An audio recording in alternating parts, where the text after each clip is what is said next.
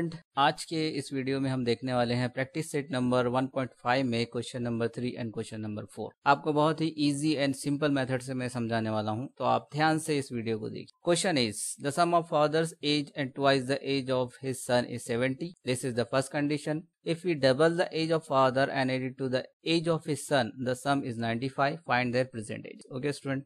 तो यहाँ पर बहुत ही सिंपल मैं मेथड से आपको समझाने वाला हूँ कि वीडियो देखने के बाद आपको नहीं लगेगा क्वेश्चन मुश्किल है। बहुत ही आसान है। तो यहाँ पर फादर एंड सन दोनों के एजेस का ज़िक्र है। तो हम यहाँ पर फ़र्ज़ करेंगे कि फादर एज एक्स है और सन की एज यानी कि बाप की उम्र एक्स ईयर्स है और बेटी की उम्र वाई ईयर्स है। तो हम लिखेंगे let the age of father is X years and the age of son is Y years okay father की एज एक्स ईयर है एंड सन की age Y year come to the first condition first condition देखिए। अब यहाँ पर हम लिखेंगे by first condition अब मैं फ़र्स्ट कंडीशन को पढ़ता हूँ स्टूडेंट द सम सम यानी कि प्लस करना है। किसकी एज का? फादर की एज का and twice of the son's age यानी कि फादर की age plus twice of son's age अगर दोनों की एज का सम करें तो अपने को मिल, कितना मिलेगा? सेवेंटी ईयर्स नाउ फादर की एज हमने फ़र्ज़ की है एक्स प्लस सन की एज हमने सपोज़ की है Y is equal to seventy then equation will become x plus two Y is equal to seventy तो हमें पहली linear equation in two variable मिल चुकी है। Now come to the second condition तो हम लिखेंगे बाय सेकंड कंडीशन अब second condition क्या है स्टूडेंट देखिए if we double the age of father if we double the age of father यानी कि फादर की एज को अगर हम डबल कर देंगे, यानी कि ट्वाइस कर देंगे and add it to son's age उसमें हम सन की एज ऐड कर देंगे। Then what will we get the sum is 90 तो हमें sum 95 मिल जाएगा okay if we double the age of father and add it to the son's age the sum is 95 then twice into father's age plus son's age y is equal to 95 then equation will become 2x plus y is equal to 95 now, this is our equation number 2 student अब आपको दो linear equation two variable मिल चुके हैं। पहली equation X plus two Y equal to seventy और second equation is two X plus Y equal to ninety five अगर हम फ़र्स्ट इक्वेशन को टू से मल्टीप्लाई कर देते हैं तो यहाँ पर गौर कीजिए कि ये हो जाएगा 2x और सेकंड इक्वेशन में ऑलरेडी 2x है। उसके बाद हम इनका सब्ट्रैक्शन करेंगे। तो मैं लिखूँगा multiply equation number one by two multiply equation number one by two equation number one को टू से मल्टीप्लाई करने पर then equation number one will be two X plus two two जा four Y is equal to seventy two जा one forty यानी कि इसको two से एक्स को भी मल्टीप्लाई करना है टू वाई को मल्टीप्लाई करना है at the same time seventy से भी मल्टीप्लाई करना now this is our equation number three equation number two and equation number three अगर ये दोनों का अगर हम सब्ट्रैक्शन करते हैं तो ये टू एक्स प्लस का टू एक्स माइनस का ये कैंसिल हो जाएगा। तो मैं लिखूँगा subtract equation three from equation two यानी कि इक्वेशन टू में से थ्री माइनस करने पर equation number two is equation number two देख लेते हैं। Equation number two is two x plus y is equal to ninety five two x plus y is equal to ninety five equation number three is two x plus four y is equal to one forty two x plus four y is equal to one जब हम सब करते हैं तो हम sign change कर देते हैं। तो यहाँ पर प्लस साइन है तो ये माइनस हो जाएगी, ये प्लस है तो ये माइनस हो जाएगी, ये प्लस है तो ये माइनस हो जाएगी। देन प्लस का टू एक्स माइनस का two x will become zero eliminate हो गया। माइनस का फोर वाई प्लस का वाई तो you will get minus three y one forty में से नाइन्टी फाइव आप माइनस करेंगे तो आपको मिल जाएगा minus forty five okay student तो ये माइनस साइन ये हम डायरेक्ट कैंसिल कर सकते हैं। Then we get 3y is equal to 45 then y is equal to 45 upon 3 then y is equal to 3 1 is 3 3 1 is 3 3 5 is 10 y is equal to 15 तो y का value मिल गया हमें 15 तो y हम किसके लिए सपोज़ किए थे? सन्स एज यानी कि आपको सन्स एज मिल गई।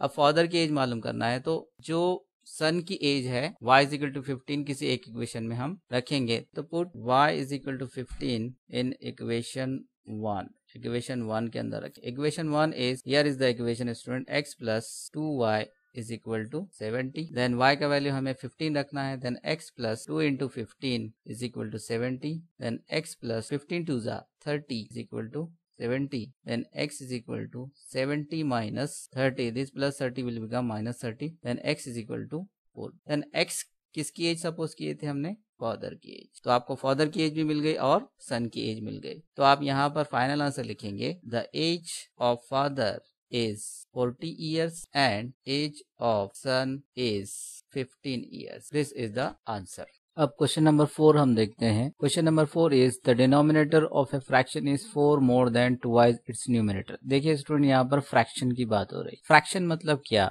Fraction is equal to numerator upon denominator okay numerator और डिनोमिनेटर का जो फॉर्म है उसको हम फ्रैक्शन कहते हैं।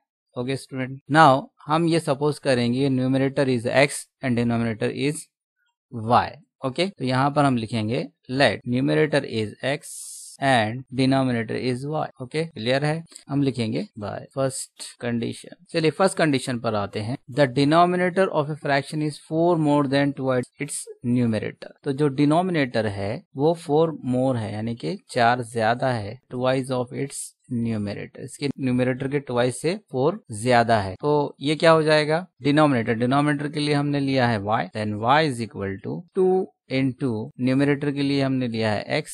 Plus four then our equation will be y is equal to 2x plus 4 थोड़ा सा हम सिंपल करेंगे इक्वेशन को। मैं क्या करता हूँ, y को इक्वल टू साइन के राइट हैंड साइड लाता हूँ फोर को लेफ़्ट हैंड साइड लेके जाता हूँ। देन ये फोर जब लेफ़्ट हैंड साइड आएगा तो माइनस फोर हो जाएगा। ये टू एक्स ऑलरेडी इधर ही है और ये y जब राइट हैंड साइड आएगा तो ये हो जाएगा माइनस वाई ओके स्टूडेंट अब ये इक्वेशन बन जाएगी two x minus y is equal to minus four, इसको हम इक्वेशन नंबर वन बोलेंगे। क्लियर है यहाँ तक, स्टूडेंट?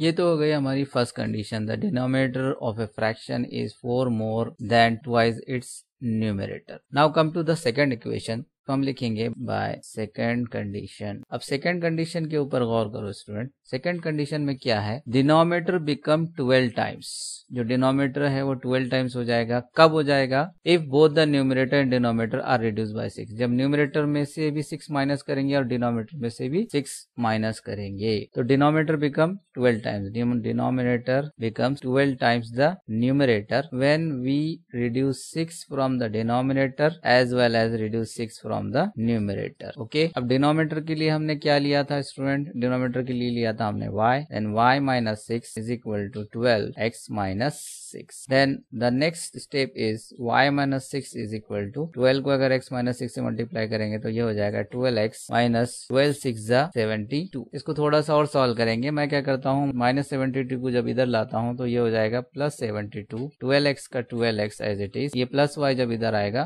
तो ये हो जाएगा minus y then seventy two minus six अगर हम करते हैं तो अपने को मिलेगा sixty six is equal to twelve x minus y then इसको अगर हम लिखते हैं twelve x minus y is equal to sixty six this is our equation number now observe equation number one and equation number two equation number one के अंदर भी minus y है equation number two में भी minus y है. अगर हम ये दोनों का सब्ट्रैक्शन करेंगे तो वाई वाला टर्म एलिमिनेट हो जाएगा. तो हम लिखेंगे subtract equation two from equation one. Okay equation one में से इक्वेशन नंबर टू सब करना है। अब इक्वेशन नंबर वन क्या है student two x minus y is equal to minus four. Equation number two is twelve x minus y is equal to sixty six. जब हम सब्ट्रैक्शन करते हैं तो साइंस चेंज हो जाते हैं। ये ट्वेल्व एक्स का साइन प्लस का है, ये माइनस का हो जाएगा। ये वाई का साइन माइनस का है, प्लस का हो जाएगा। ये सिक्सटी सिक्स का साइन माइनस प्लस का है, ये माइनस का हो जाएगा। ओके? अब देखिए, minus twelve x plus two x, ये मिल जाएगा minus ten x. Minus y plus y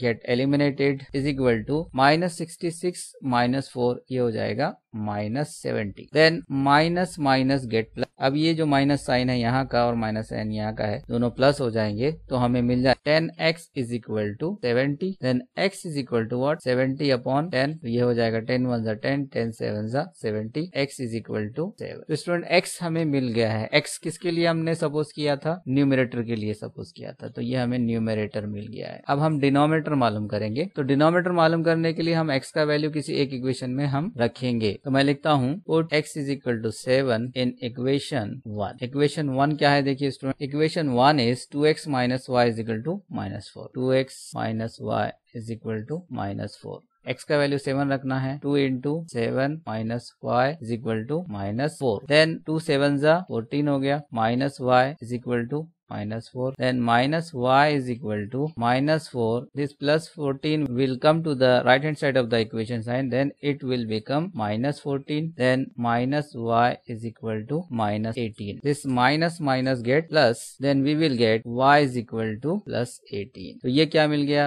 हमें स्टूडेंट ये मिल गया है y किसके लिए सपोज़ किया था डिनोमिनेटर तो ये हमें मिल गया है डिनोमिनेटर तो हमें न्यूमिनेटर मिल गया है डिनोमिनेटर मिल गया है तो हम फाइनल आंसर लिखेंगे हम लिखेंगे the fraction is numerator upon denominator numerator क्या है? सेवन और डिनोमिनेटर है eighteen the fraction is seven upon eighteen okay understood students we hope that you have understood both the solutions of question number 3 and question number 4 we hope that you are watching complete videos if our method is simple then please like our videos by this we will get motivated from your like अगर आपको हमारे videos useful लग रहे हैं इसे ज़्यादा ज़्यादा student तक शेयर कीजिए अपने दोस्तों में शेयर कीजिए और हमारे चैनल को सब्सक्राइब कीजिए thank you for watching our videos